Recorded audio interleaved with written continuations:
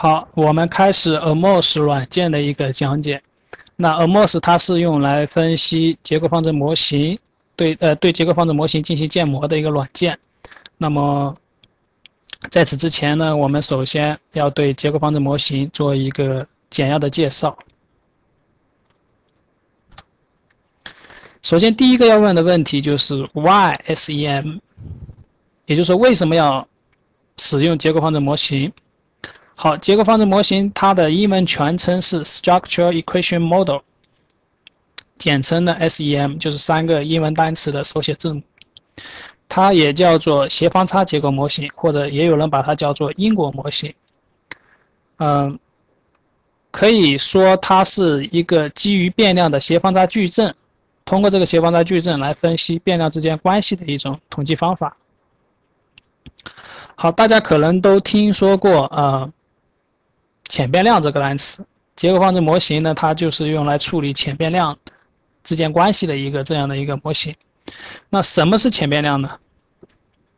我们在很多的那个经济啊、管理啊、社会，比如说还有一个心理等领域的一个研究，我们有时候会涉及到这样一些变量。呃，这些变量呢，我们不能够直接的去测量，或者说有时候可以测量，但是不能够测量的不准确。好，这种变量就叫做潜变量。比方说智力、你的学习动机，还有你学生的一个家庭、社会、经济地位等等，这些都是潜变量。既然我们不能够直接的去测量它，那么，呃，怎么办？我们就用一些其他的一些可测变量来间接的测量这些潜变量。你比方说家庭。学生的家庭、社会、经济地位，刚才说了，它是一个潜变量。好，既然它不能直接测量，那我就通过父母的教育程度、父母的职业，还有父母的收入，把这三个变量作为它这个潜变量的啊观测指标，通过这三个指标去去去间接的测量这个潜变量。那么传统的一些统计分析方法，它是不能够处妥善的处理这些潜变量的。而结构方程模型呢，则能够同时处理这些潜变量，跟它对应的一些可测指标。好，那结构方程模型既能说它是，嗯，它能够处理处理这些潜变量，这些潜变量传统统计分析方法是不能处理。我们来先来看一下传统的统计模型，它有一些什么缺陷。第一个缺陷就是关于测量误差方面的。以线性回归分析为例，虽然说线性回线性回归分析模型，它是它的它在它的模型假定里面，虽然说容许你的因变量是可以包含测量误差的，但是呢，同时它是也要求了你这个自变量的观测没有误差。好，呃，像这样的 y 等于 a 加 bx 加 e。它是一个线性回，当然它是一个一元的线性回归模型，呃的标准形式。通常是怎么假定的呢？我们假设 x 它是一个非随机的变量，而实际实际情况当中，你这个 x 其实经常是一个随机变量，是有测量误差的，或者说你这个 x 呢，它是一个潜在的一个随机变量，不能够直接观测，所以。当你这个自变量跟因变量都不能够准确测量的时候，你这个方程就不能够用来估计变量之间的关系。这是第一个关于测量误差。那第二个传统统计模型的一个缺陷就是关于多变量之间关系。实际情况当中呢，多变量、多指标变量之间的关系是很复杂的。并不一定就是用你能够用一组自变量去解释一个因变量的。举一个例子，你一个人的学历或者说受教育程度，它会影响收入，对吧？一般来说是一个正相关的关系。受教育程度或者说学历越高，那你的收入越高。好，收入呢又会影响你的消费支出和结构，对吧？你有一个那个消费函数。那学历或教育程度会影响收入，收入又影响消费支出和结构。那么，可见你的学历或者是受教育程度，它就会间接的影响你的消费支出和消费结构。好，它是一种间接的影响。那么，对于这种间接的影响，如何去建模？传统模型是没有这这一方面的内容。这是第二个关于多变量之间的关系。第三个是关于因子分析的，跟因子分析有关的。传统因子分析里边，我们一般是要求你这个潜在的因子之间是相互独立的，但在实际问题里面呢，很多潜在的因子之间它是存在着一定的关联或者是依存关系的。好，当你这些潜在的因子之间存在着关联或依存关系的时候，这种情况你如何去进行因子分析，进行建模？最后呢是关于一个模型比较，呃，传统的因子分析，我们一般是就做完一个因子分析，从那个一些变量里面提取出一个公共因子，对吧？提取提取出来以后，然后看一下它的那个效果，就就完成了，并没有涉及到不同模型之间如何去进行比较或者是检验等等的这些问题。实际我们在做的时候呢。好，同样一个变量，同样一个数据集，我们其实能够基于不同的理论假设，对吧？基于我的呃不同学科的理论假设去拟合各种模型。好，那我如果拟合了很多个模型，我如何去检验到底不同模型之间哪哪个更好？这些传统的因子分统计，哎，传传统的因子分析里面是没有涉及的内容。那么结构方程模型是可以做这些的。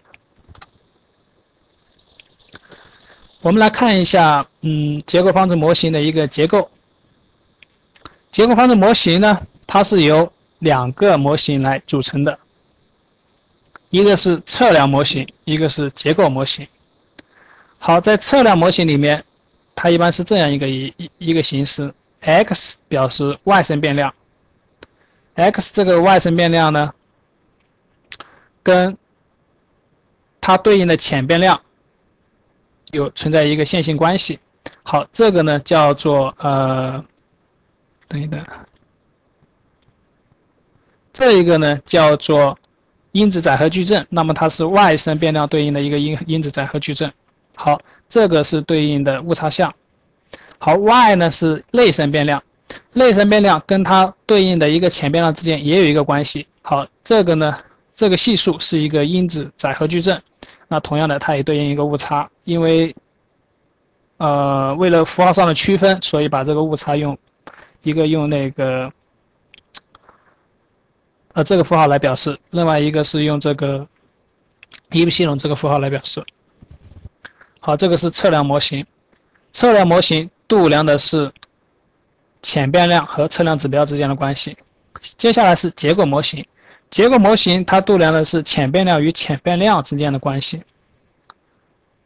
你看，这个是内生变量对应的一个潜变量，那它跟自己有有有一个呃有一个线性关系，然后呢，它跟外生变量对应的潜变量又有一个线性关系，那这两个是它们对应的一个呃系数。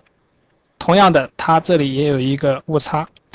呃，注意这两个符号的区分哈，就是看上去它们俩是有点类似，但是其实是不一样的。这个是误差项，那这个呢是外生变量对应的潜变量的一个表示符号。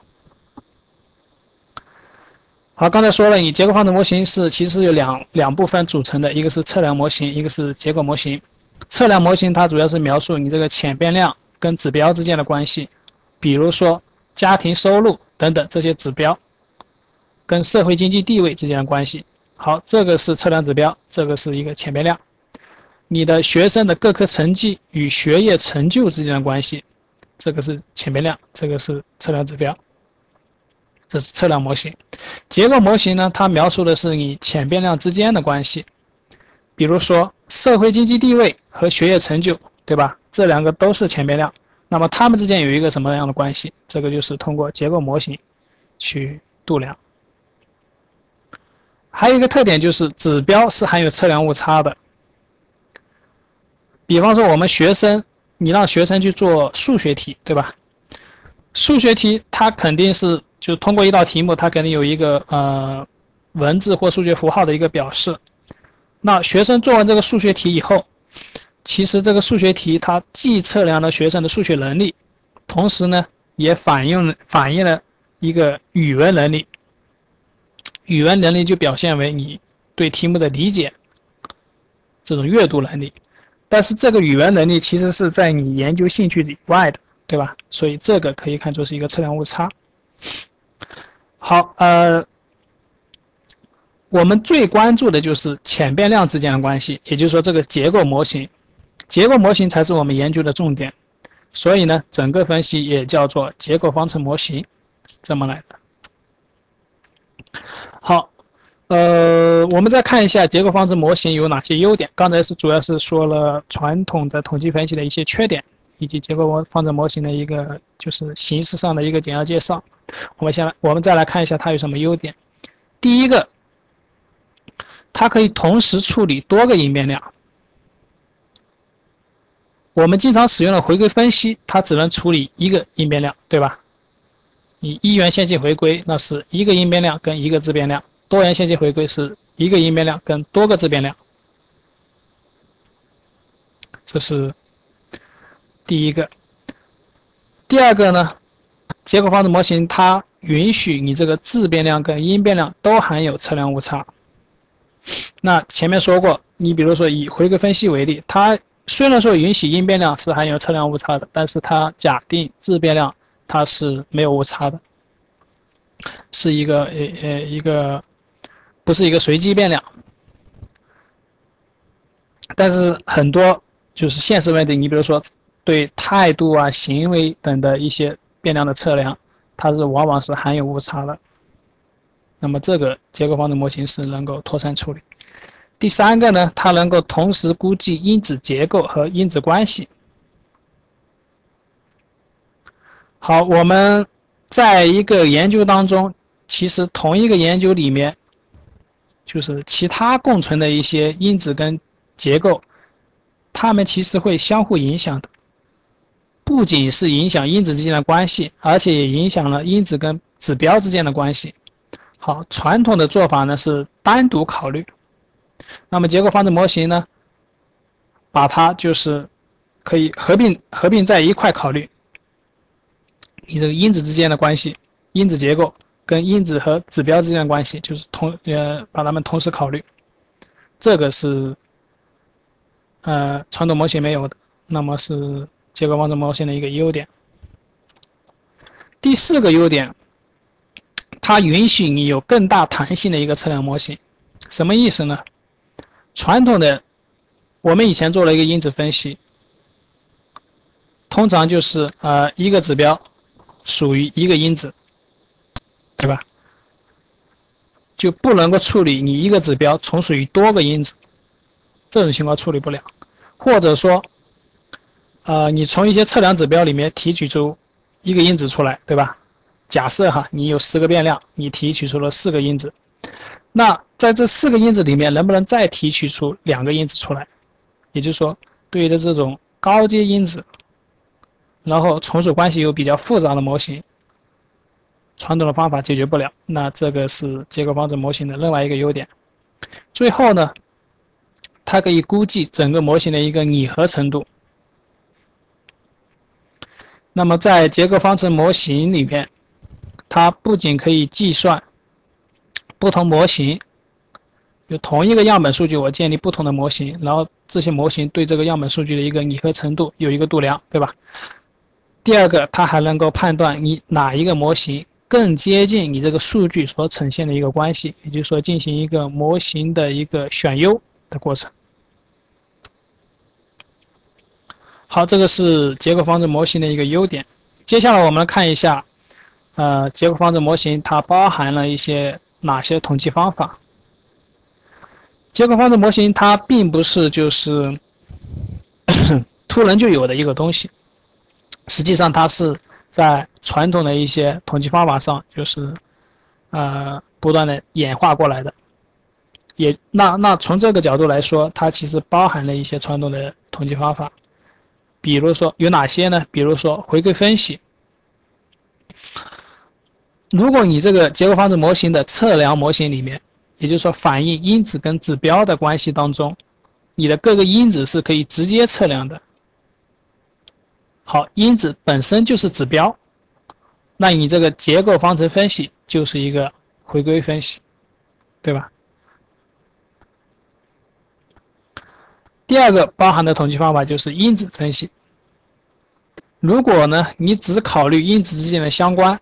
而不考虑因子之间的一个因果关系，也就是说，没有结构模型这一这一部分，就是前变量跟前变量之间的关系这一部分，那么你这个结构方程分析就是一个因子分析。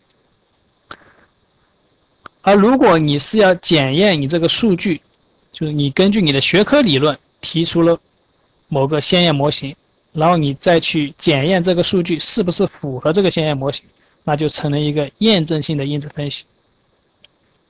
那除了回归分析和因子分析以外，其实还包含了一些其他的，比如说 T 检验呀、方差分析呀、交互作用模型，以及实验设计等的一些统计方法。那呃，之前解决的那个问题就是为什么要使用结构方程模型？那好，我们既然是一个 AMOS 软件的一个讲解，那为什么要使用 AMOS？Why AMOS？AMOS，我们先来认识一下它。它是 Analysis of Moment Structures，它的一个简称，也就是 AMOS 这个软件的名称呢，是从呃这个英文词组里面得来的。A，然后 M O，然后 S，也就是说它是用来分析你的一个句的结构。句其实啊，当然它实际当中用的主要是一个二阶句，方差和斜方差。呃，现有的一些结用来做结构方程模型的软件大概有这么几种，一个是 AMOS，一个是 Lisa，然后还有就一些其他的，比如说 EQS 啊、MPlus 等等。那这里我们对它来做一个比较，然后你就会知道我们为这里为什么要选用 AMOS 这个软件。AMOS 呢，它是由 SPSS 公司开发的。好，SPSS 公司开发的软件。有一个最大的一个显著特点就是非常的易学易用。那在这里它是不需要编程的，很好用。你去用这个 AMOS 去做一个结构方程模型的建模，基本上就是跟你在一个一张白纸上画画一样。那用它做研究呢，是是这个过程是非常享受的，就非常的方便。对于数学不好或者说是对统计方法了解不多的人，这个。是一个福音。第二个用的比较多的软件就是 Lisa 了。它呢，呃，因为需要编程，所以掌握起来就比较困难，所以目前用这个软件的人不是很多。主要是比较难，当然它其实功能还是比较全面。最后像 EQS 和 MPlus 等等这些，呃，基本上是一些非主流的结构方程模型软件。用户呢是比较少的。那好，呃，第一讲结构方程模型的一个简介就到这里，谢谢。